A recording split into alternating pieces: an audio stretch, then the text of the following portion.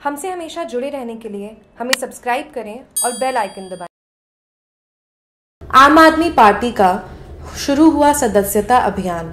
सुमेरपुर विधानसभा चुनावों के आपके प्रत्याशी जब्बर सिंह भूमिया ने कहा कि 1 अक्टूबर से 31 अक्टूबर तक सदस्यता अभियान चलाया जाएगा।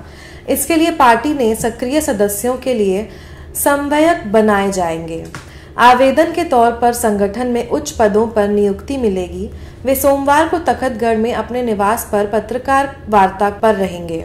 कांग्रेस से आपकी सदस्यता ग्रहण करने के सवाल पर कहा कि कांग्रेस में पक्षपात हो रहा है, इसके चलते आप ग्रहण करनी पड़ी। उन्होंने भाजपा को आड़े हाथों लेते हुए कहा कि कश्मीर में 370 की धारा भी नहीं हटा पाए हैं। पार्टी के आसन्न चुनावों में सरकार बनाएँगे।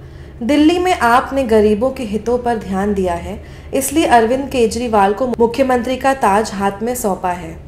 प्रत्याशी भूमिया ने कहा कि जवाई बाँध को भरवाने के लिए प्रयास किए जाएँगे। भूमिया ने कहा कि चाही की भूमि को हाई कोर्ट ने जोड़ा है, इसलिए खुद के खेत में से गुजर रहे खालिया से खेत असिंचित रहता है। एवीएम में गड़बड़ियों के सवाल पर कहा कि आए दिन आ रही इस प्रकार के समाचारों से भाजपा बौखला गई है।